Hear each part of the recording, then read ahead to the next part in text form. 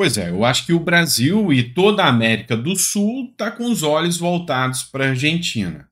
Foram abertas as urnas. E agora? Será que o Brasil terá um esquerdista aliado ou alguém de direita que não vai querer muito papo com Lula? Nós vamos estar analisando todos os fatos.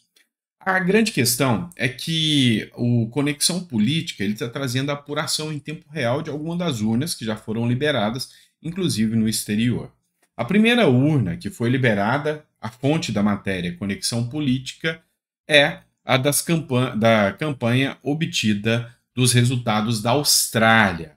Lá na Austrália, o Javier Milei ganha com 81% dos votos, enquanto o Sérgio Massa 19% dos votos. Esse é o primeiro resultado é, do exterior que foi liberado. Também foi liberado da Nova Zelândia. Já na Nova Zelândia, a diferença é um pouco menor. Javier Milei, 57% e Sérgio Massa, 43%. Essa é a diferença. Mas em todas as urnas que foram apuradas até agora no exterior, que já tiveram resultados, Milley aparece à frente. A gente vai estar trazendo o acompanhamento e provavelmente a gente vai trazer o resultado final aqui para vocês das eleições até o nosso último editorial, que acontece às 9 horas. Mas o assunto que nós vamos comentar agora é o ministro da Justiça, Flávio Dino, que está aí com uma, uma derrota, vamos dizer assim. Essa é matéria do Correio Brasiliense e a gente está acompanhando aqui a atuação da oposição em relação ao ministro da Justiça, Flávio Dino. Essa semana foi uma semana muito conturbada para o ministro da Justiça, Flávio Dino, e com o trabalho da oposição para tentar uh, colocar o ministro da Justiça, Flávio Dino, longe e fora do STF. E parece que a ação da oposição está dando resultado. Segundo o Correio Brasiliense, o Flávio Dino era o favorito para estar à frente do Supremo Tribunal Federal. Entretanto, antes favorito, Dino perde a vantagem na corrida pelo STF. Fonte da matéria Correio Brasiliense. O nome do ministro da Justiça e Segurança Pública, Flávio Dino, caiu nas listas de aposta para ocupar a vaga em aberto do Supremo Tribunal Federal. E, segundo rumores que circulam nos três poderes, é pouco provável que retome a condição de favorito, a cadeira antes ocupada pela ministra Rosa Weber. O desgaste que conduziu suas chances é a polêmica em torno da advogada Luciane Barbosa Farias, mulher de Clemilson dos Santos Farias, o tio Patinhas preso por tráfico de drogas e apontado como líder do Comando Vermelho no Amazonas, que obteve audiências com secretários da pasta conduzida por Flávio Dino. Então, o assunto que foi o golpe final na, na possibilidade do Dino chegar à cadeira do STF foi esse caso que foi divulgado pelo Estadão. E o Estadão assumiu uma postura aqui de oposição pesada ao governo Lula. O Estadão que antes fazia uma oposição ao governo Jair Bolsonaro, assumiu aqui também uma matéria de uma situação de oposição ao governo Lula e agora o Estadão já deixou bem claro que o papel dele é bater de frente com o governo Lula. E aí a gente está acompanhando tudo isso que está acontecendo. Pegou muitos de surpresa. A mídia mais militante da esquerda está atacando o Estadão e aí já tem até um pedido de censura do Jean Willis, aquele ex-deputado federal, pedindo para que todas as matérias do Estadão que falavam desse caso, da, como ficou conhecida, Dama do Tráfico, fossem retirados. E aí começa essa briga agora com o Estadão sendo aqui um protagonista nessa retirada do ministro Flávio Dino do, do foco do STF. Embora o STF tentou minimizar, diz que o Ministério da Justiça receber a esposa de um traficante do Comando Vermelho condenado, de um líder do Comando Vermelho, é bobagem. Tentou minimizar. Mas o Senado já deu um recado ao Lula e ao Flávio Dino. Se indicar Flávio Dino, o Senado não vai aceitar. O UOL mostra também que esse reflexo aí dessa mulher do líder do Comando Vermelho foi muito além da única matéria do Estadão. Todos os jornais trataram do caso foi uma semana muito pesada para o Flávio Dino, foi uma derrota gigantesca para ele. E aí, uh, o próprio Ministério Público Federal não viu com bons olhos, pediu a exclusão da mulher do líder do Comando Vermelho do Comitê contra a Tortura no Amazonas. Lembrando que o Estado do Amazonas mantinha ela dentro de um comitê de combate à tortura. E olha só que ironia. alguém, mulher vinculada ao Comando Vermelho, né, mulher do líder do Comando Vermelho, estar participando de uma comissão do governo do Estado. E isso vindo a Brasília custeado com dinheiro público. Escancarou aqui ah, uma situação muito complexa, ou seja, muito de relapso ainda dentro do Ministério da Justiça e dentro do governo federal. E aí, aquela narrativa de vínculos do PT, da esquerda, com facções criminosas cresceu frente à oposição.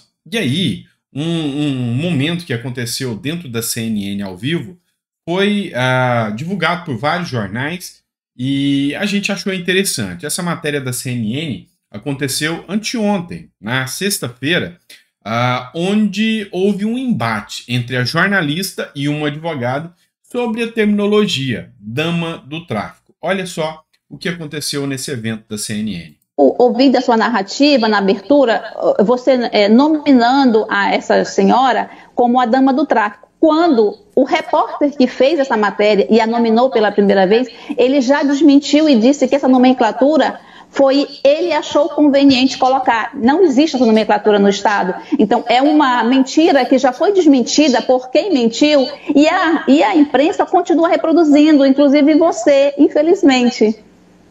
Entende? Então, a, nós precisamos agir com ter uma imprensa a uma gente tá- responsabilidade. Tá, gente, né? ela, ela é, é, casada há 25 anos ela é com casada, o chefe do. Ela é no mínimo a primeira dama do tráfico. Certo. Ali, não, aí... tem, não, é, não tem nenhuma afirmativa mentirosa aqui, doutora. Ela é casada há 25 aí, anos, sim, ela, ela, companheira do ela... chefe do Comando Vermelho no estado do Amazonas, que é um dos principais procurados pela polícia local, conhecido como tio Patinhas. Não tem nenhuma não, afirmação falando, mentirosa aqui. Eu estou falando doutora. da nomenclatura dama do tráfico, que inclusive está escrito aí embaixo. Eu não sou advogada dela, mas assim, eu estou fazendo essa essa pontuação. De onde, que está escrito aqui, né? Reuniões com dama do tráfico. De onde surgiu o dama do tráfico? Olha, pode ser uma. uma se, ela, se ela é casada com o chefe do tráfico, ela é no mínimo a primeira dama do tráfico. Agora eu queria aproveitar é, para falar. Mas aí são ilações, veja Não, são, não são relações, doutor, não são relações, doutora. A, a relação dele com ela é um fato. E aí fica aqui escancarado o quanto aquelas pessoas que tentam passar pano nessa situação. Ela é casada com um cara há 25 anos, com um cara que é o responsável pelo crime organizado, pelo tráfico dentro do Amazonas. E aí não se trata de uma mera ilação. Ela é, no mínimo, a primeira dama do tráfico. E aí, é lógico que a imprensa tratou como tal. Afinal, seria a mesma coisa de dizer que a Janja, que conheceu o Lula há pouco tempo, está casada há pouco tempo, não é a primeira dama do Brasil. Olha, convenhamos que sempre tem alguém para passar pano nessas situações, né? Mas enfim, falando ainda do ministro da Justiça, Flávio Dino, que é hoje um inimigo voraz do Bolsonaro e do bolsonarismo como um todo. Está uma matéria ainda no, nessa semana que tratava da, de uma investigação do Ministério Público sobre a possibilidade do Bolsonaro estar tá importunando uma baleia jubarte é, durante um passeio de jet ski e o Ministério Público resolveu tirar tempo do nosso dinheiro aí também para poder fazer essa investigação contra o Bolsonaro e esteve em todos os jornais. Mas Bolsonaro deu uma resposta e essa resposta foi esposada aqui pelo Estadão, que disse o seguinte: Bolsonaro chama Dino de baleia e diz ser alvo de maldade de todos os dias ao falar de investigação. Segundo a matéria, a maldade. Em um evento do PL, Mulher, em Porto Alegre, neste sábado, dia 18, o ex-presidente Jair Bolsonaro chamou de maldade a investigação da Polícia Federal sobre suposta importunação dele contra uma baleia jubarte em São Paulo, no litoral de São Paulo. O inquérito foi aberto com base no vídeo que mostra um homem pilotando um jet ski e se aproximando do grande cetáceo que pode atingir 15 metros de comprimento e pesar até 30 toneladas. A, suspeita é que o presidente da República seja o condutor do veículo aquático. Ao mencionar o inquérito durante o evento, Bolsonaro atacou o ministro da Justiça Flávio Dino, chamando-o de baleia. todo dia tem uma maldade em cima de mim. A de ontem foi que estou perseguindo baleias. A única baleia que não gosta de mim está na esplanada e é aquela que está no ministério, afirmou o presidente sem citar o nome do Flávio Dino. Com toda certeza, há possibilidade aqui do ministro da Justiça, Flávio Dino, abrir um processo aqui por difamação, por injúria contra o, o ex-presidente Jair Bolsonaro, o que provavelmente vai acontecer, tá? O que provavelmente vai acontecer. Mas isso aqui mostra um pouco mais. Dentro das relações políticas, existe os adversários políticos.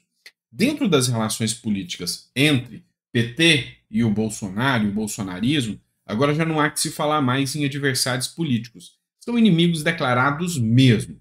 E aí, voltando ao tema aqui, esse assunto rendeu muito, rendeu inclusive pedidos de impeachment, tanto do ministro Silvio Almeida como do Flávio Dino também, o Marcelo Álvaro, que é um dos aliados do ex-presidente Bolsonaro, deixou bem claro: assinei os pedidos de impeachment de Flávio Dino e Silvio Almeida pelo pagamento de passagens e diárias para a dama do tráfico, utilizando novamente a nomenclatura, né?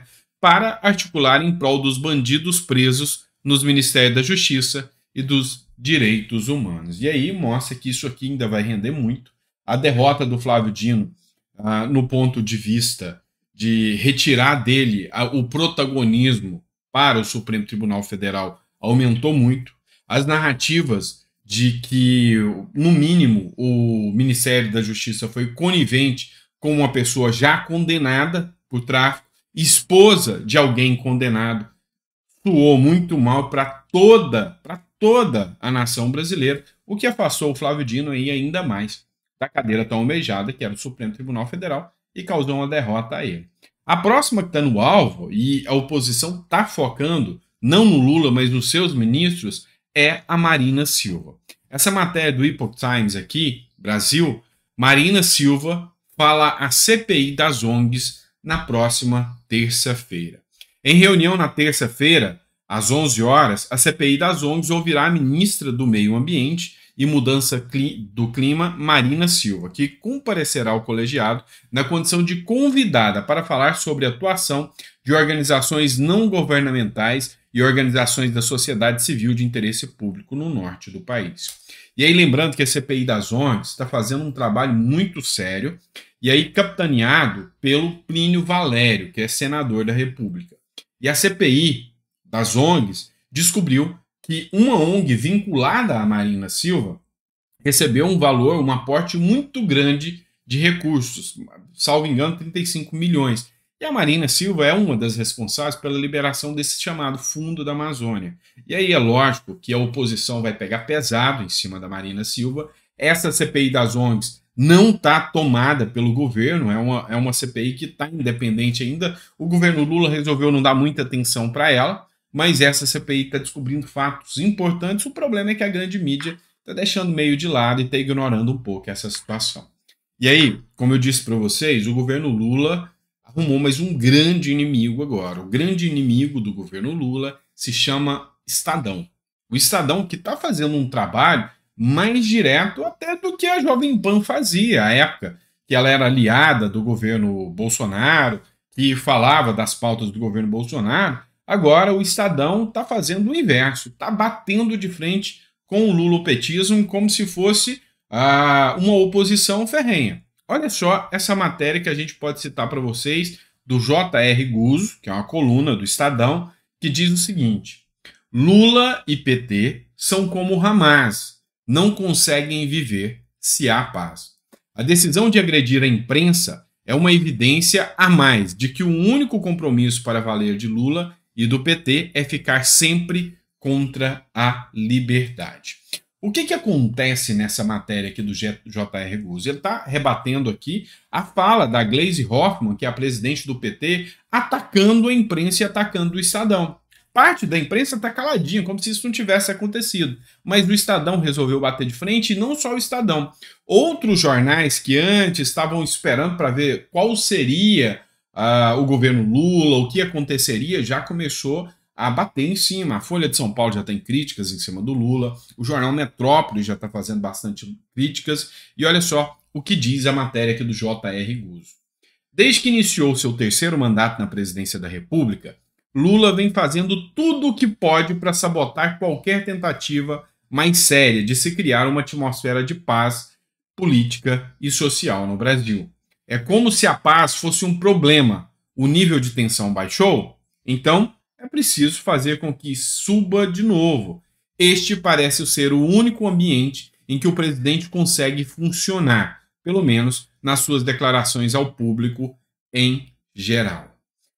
Então, o Estadão vem batendo aqui de frente e comprando essa briga. E a gente vê que matérias vêm trazendo críticas ferrenhas, como por exemplo, a gente pode citar aqui o Metrópolis, que numa matéria do, Mauro Sabino, do Mário Sabino diz o seguinte: BRICS e Sul Global. O Brasil é só um fantoche da China. E aqui ele faz críticas, para quem lê o editorial inteiro, críticas ao quanto o Brasil é subserviente às ditaduras. Qual a importância geopolítica do Brasil? A não ser para as basques da imprensa nacional, nenhuma. Somos um fazendão com proprietários e capatazes muito toscos, dos quais Lula expressa a média geral de ignorância em praticamente tudo, assim como todos os outros que governaram, à exceção de FHC. O que esperar de gente que foge do museu, biblioteca, laboratório?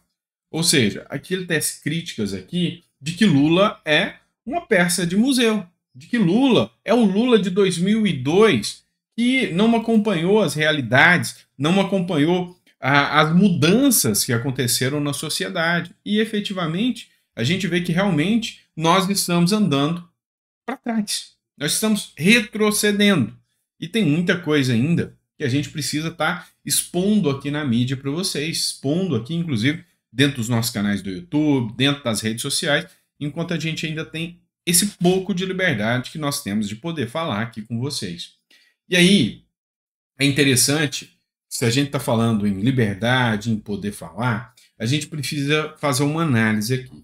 A, a matéria do Estadão parou o Lula, que é o Hamas, né, que, é o, que não quer paz.